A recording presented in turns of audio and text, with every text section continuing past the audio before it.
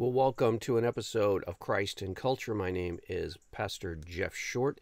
Today we're going to be talking about something I've covered about two or three years ago. Uh, made a video on this and made commentary on this a few years ago when it became headlines. Uh, once again, we're seeing in, uh, for example, Yahoo News, we have right here Yahoo News uh, it says, Pastor accused of sex abuse says he's ready to preach again. And that's that's an important headline. It says that he says he's ready to preach again. Well, this is the problem. Um, you have people who have abused congregations, who have abused people, uh, sexually abused individuals, and now they're coming back and saying, "Yes, I'm ready. I'm I'm I recovered. Um, I've learned my lesson. So now I deserve to have a platform. Uh, give me a platform. I'm ready. I'm okay. I got this. I'm good. Can step back into ministry. No problem." And he is saying he's ready to preach again. The problem is, I don't think the body of Christ should be ready for him to step in as a pastor again. So let's read the article here in Yahoo News, and I'll do a little commentary also on the article uh, as we go to certain key points. It says While preaching to his new Florida congregation last Sunday, Pastor Tullian Tchividjian spoke at length about how God offers unconditional, unconditional, unconventional, and sometimes downright infuriating grace to everyone, even those society considers an outcast. Tchividjian referred to the biblical story about Jesus interacting with a group of men with leprosy, people who were outcasts from their communities as a result of illness. You could no longer work at the job that you had. You could no longer be around the people that you loved. You were basically dealing with this death sentence, Tchividjian told his Palm Beach Gardens church, describing the experiences of people with leprosy during Jesus' time. But then the Bible says Jesus healed the men, restoring them to their old lives. The one thing that seems to annoy people the most about God is his willingness to love, forgive, and restore those who have decided we have decided deserve the exact opposite Tchividjian preach. He could very well have been thinking of his own story. And that's the point. That's the problem now. Because when you, as the perpetrator, as you, as the sinner who has made um, a mess of the church and your marriage and everyone around you, when you start preaching uh, that people should love and accept and tolerate and forgive and reconcile and all this stuff, it rings hollow because it seems to be self serving. Of course, Tullian Tchividjian would want people to uh, tolerate, forget, forgive, accept, re embrace, um, let bygones be bygones. Let's start over everything. Of course, he would want that to happen because it would be in his best interest for people to do that. Um, but just because Tullian wants this done doesn't mean that Christianity needs to follow him in his self serving, self interest theology. Yes, Jesus is offering grace and forgiveness for to all who repent and who are um, sorrowful and who confess their sins and so on and so forth.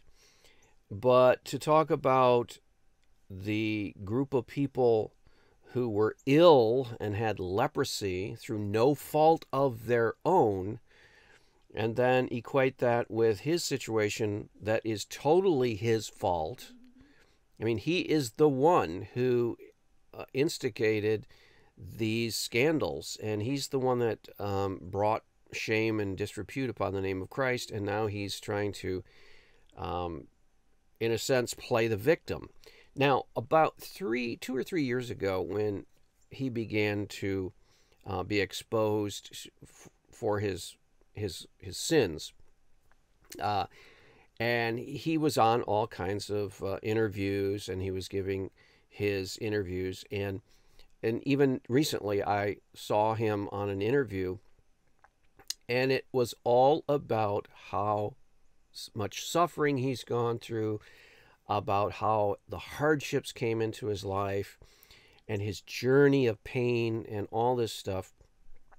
And it was all about him and all about his perspective and all he's gone through and yada, yada, yada. Well, the problem with that approach is that he's failing to also give voice to the people that he caused pain to. And he's failing to take into consideration their pain. So we get more of that same attitude about him playing the victim and downplaying the pain and victimhood of the people that he hurt. And that's the problem. That's the problem. It says um, that he could be very well talking about his own story in telling these Bible stories. It says Tchividjian, a grandson of the famous late American evangelist Billy Graham, was booted from positions at two Florida churches for sexual misconduct in 2015 and 2016 including a relationship with a woman that he was involved with, describes as sexual abuse. Okay.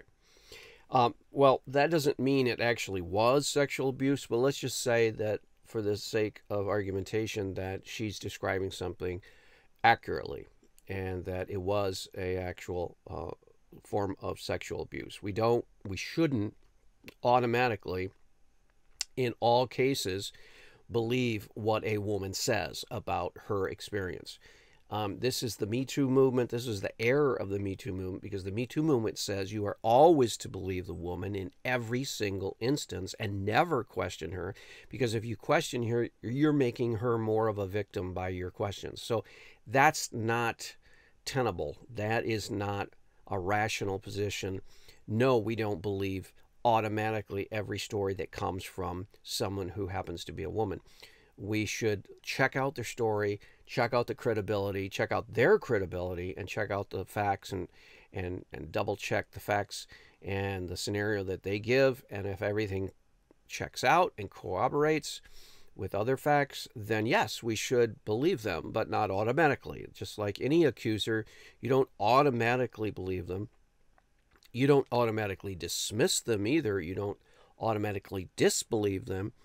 You hold them in sort of a limbo state until you can check out their facts and then um, make a determination based on the facts, not just because someone is telling you something.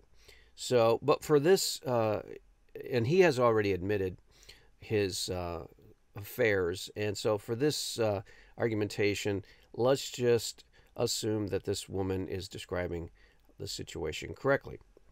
But despite his past, Tchividjian insists that because of God's grace, he's now rehabilitated enough to return to the pulpit and lead a congregation. The one thing I've learned about God's grace is that there is no into it recovering addict. That's what he wrote. He tweeted. Tchividjian has started The Sanctuary, a new non denominational church a new non denominational church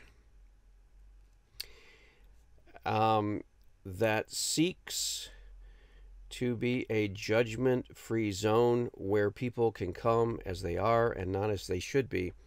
The pastor is insisting that his murky past is precisely what makes him qualified to minister to broken people.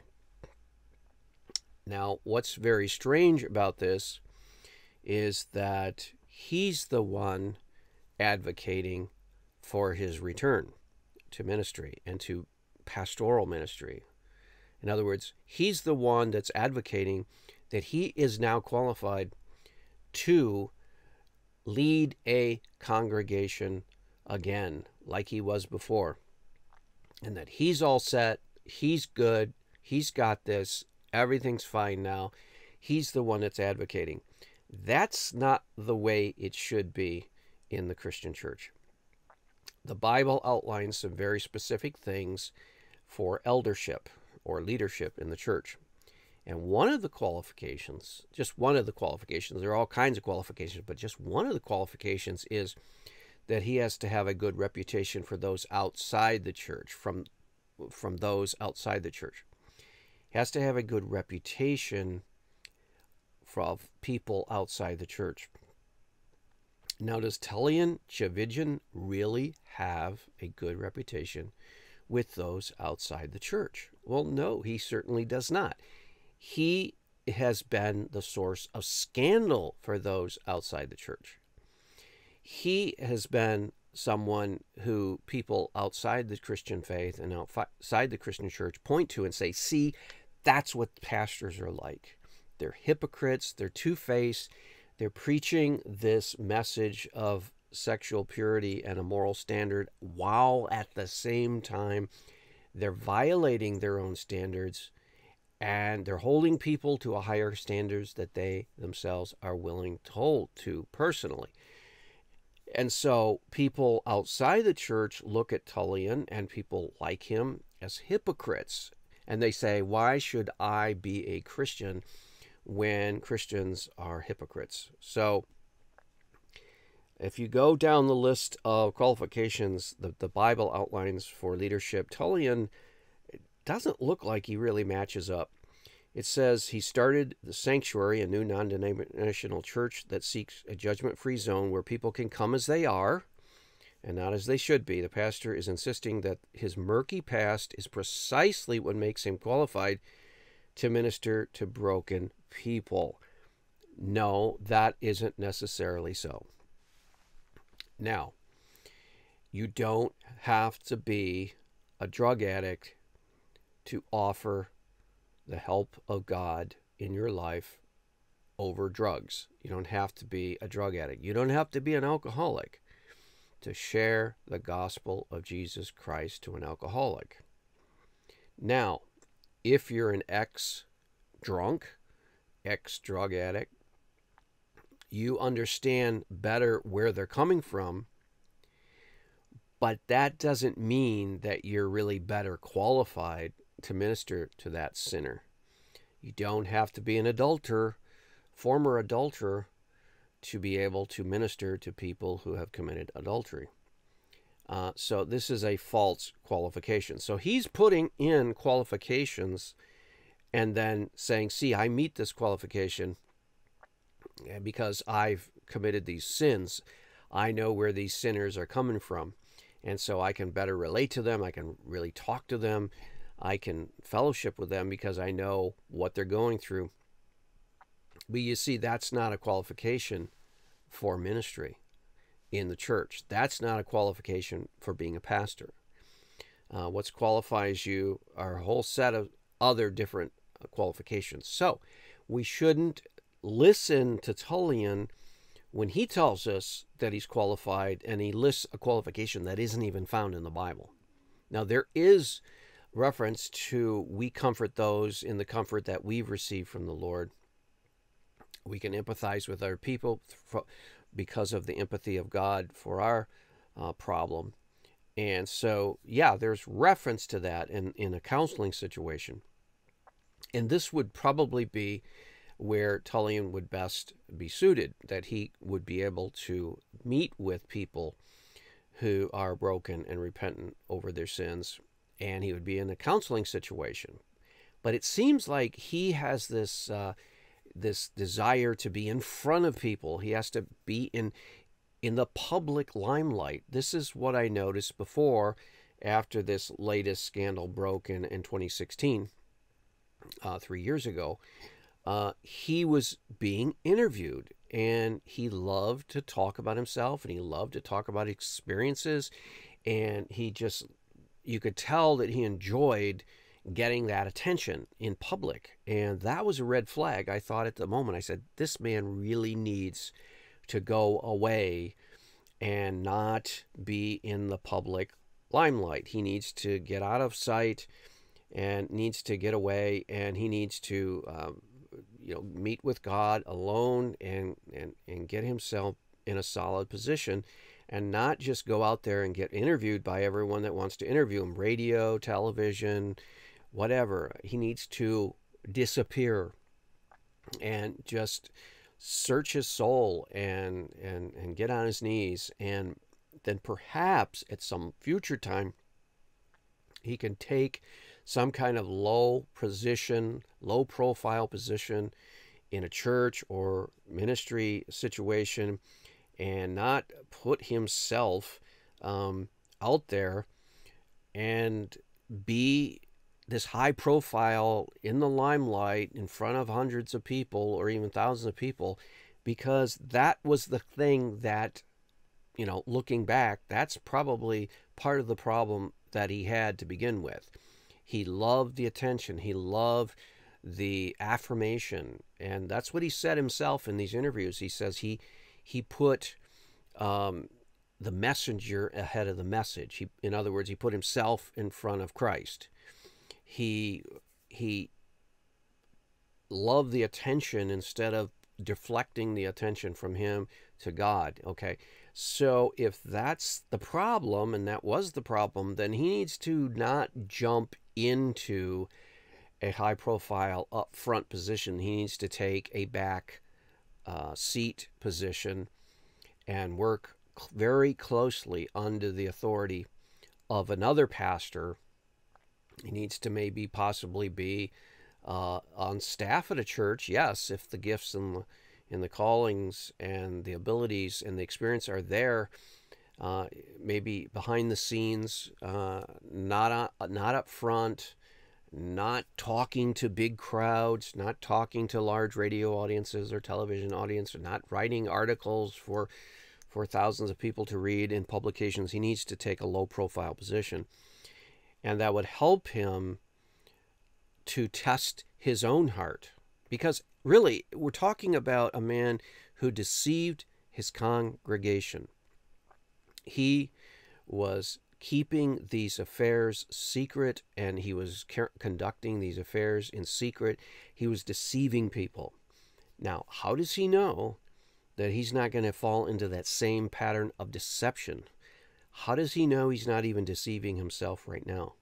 See, that's where he needs to sit under other pastors who have not disqualified themselves and who are solid and strong and who can mentor him and hold him accountable. Very carefully hold him accountable. He needs to be held very carefully accountable because he doesn't really even know um, whether his his re- so-called recovery is sincere or not. So he needs to uh, assume that the heart is deceitful above all things, uh, and he needs to place himself under careful accountability.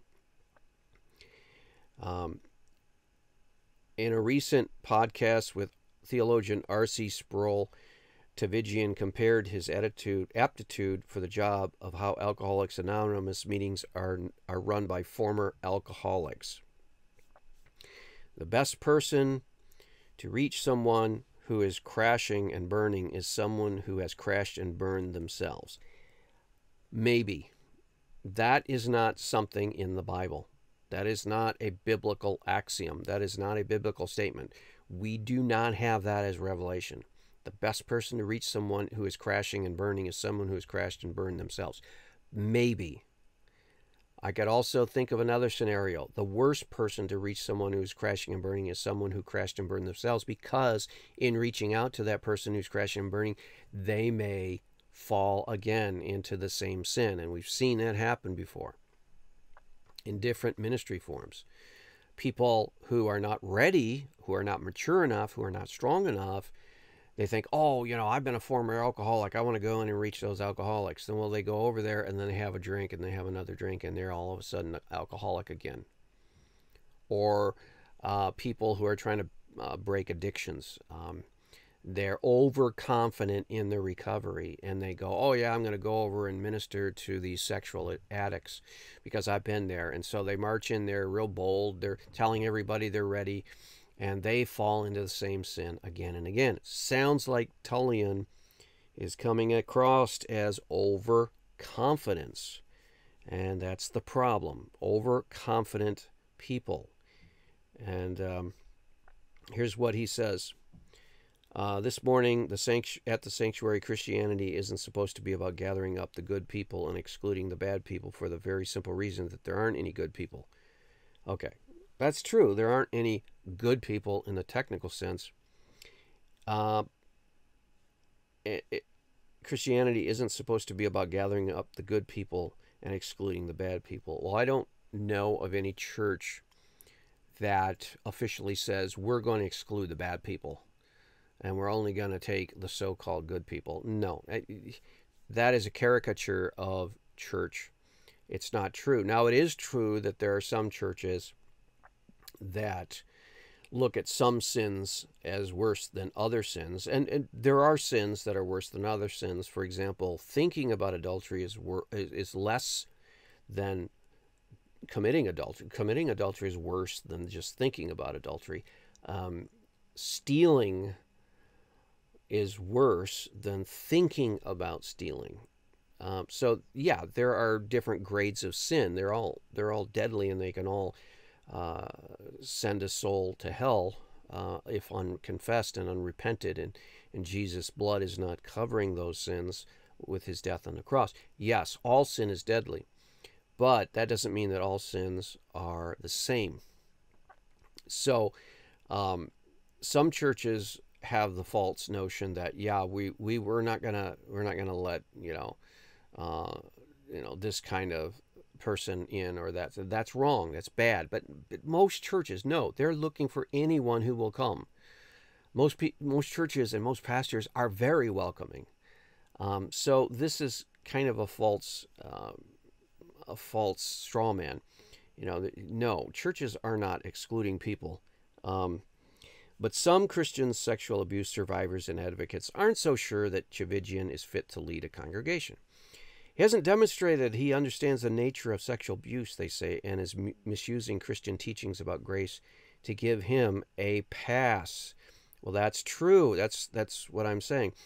Pastors accused of abuse can sometimes exploit Christian teachings about forgiveness and grace to claim positions of power within a church, according to Wade Mullen, a scholar at Lancaster Bible College who studies how evangelical organizations seek to escape abuse scandals. Uh, Mullen told HuffPost he believes that there's a difference between receiving God's grace and receiving God's endorsement for occupying a position of spiritual authority, a distinction he thinks Tchividjian is conflating. Pastors seeking to retain or regain their power might use God as a, their primary endorser, Mullen said. But this can be a powerful tactic of manipulation because he, who wants to stand in God's way? Both Tchividjian and the sanctuary have not responded to HuffPost's request for comment. So the point there is this guy is saying, well, I think Tchividjian might be using it as a means to get back um, into a position. And Tchividjian was fired from an administrative job at Willow Creek Presbyterian Church in Winter Spring, Florida, uh, in 2016 because of an inappropriate relationship. One year earlier, he'd lost his job as senior pastor at Coral Ridge Presbyterian Church in Fort Lauderdale for having an affair with a female congregant while he was married. The congregant has said that she thought of Tchividjian as a pastoral counselor and that the relationship amounted to sexual abuse. So it goes on and talks about he's had two affairs. He has since divorced from his first wife and remarried. However, he claims he didn't play the role of counselor in the congregant's life. He still insists the relationship was consensual and did not amount to abuse.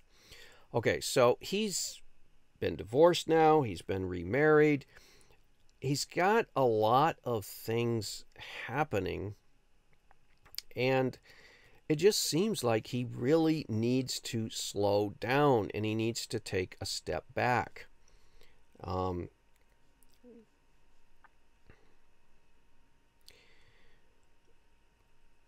Dee Parsons, editor of a blog that exposes abuse in Protestant churches, told HuffPost she believes that just as licensed therapists are prohibited from having sexual relationships with their clients, a pastor who has had sex with a congregant shouldn't be allowed to lead congregations. Uh, okay, so yeah, that raises that question. Um, there was a question of abuse of power. And um, there needs to be um, definitely accountability. There needs to be, uh, you know, all kinds of safeguards so that this doesn't happen again. And um, HuffPost has said the sanctuary uh, asked the sanctuary what accountability structures it has in place to ensure that the church is a safe place for abuse survivors, but did not receive a reply.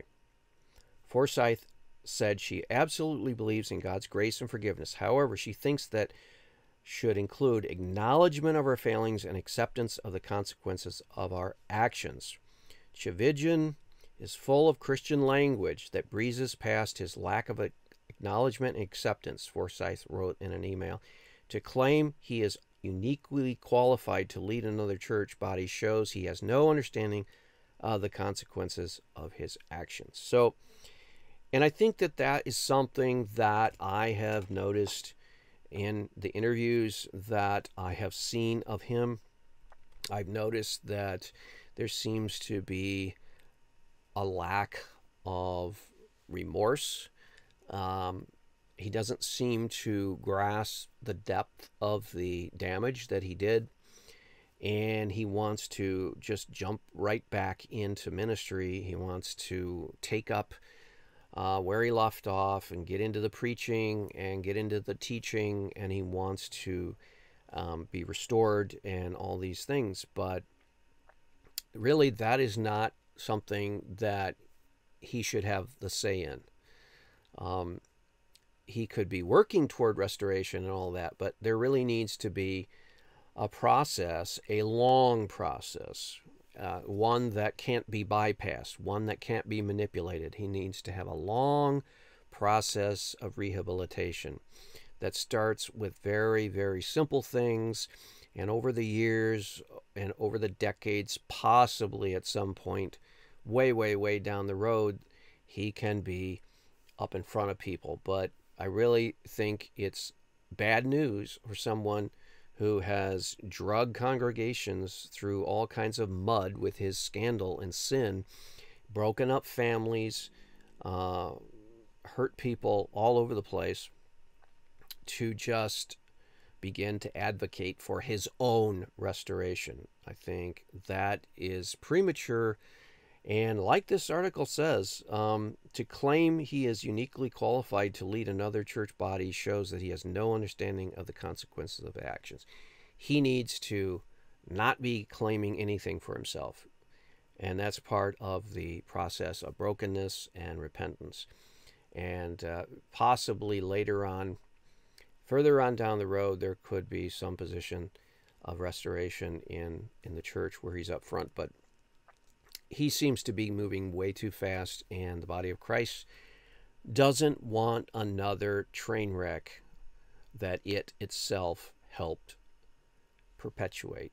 And so, in order to avoid that train wreck in Tullian's life or in any other pastor who has fallen like he did, there needs to be a slow, long process of rehabilitation.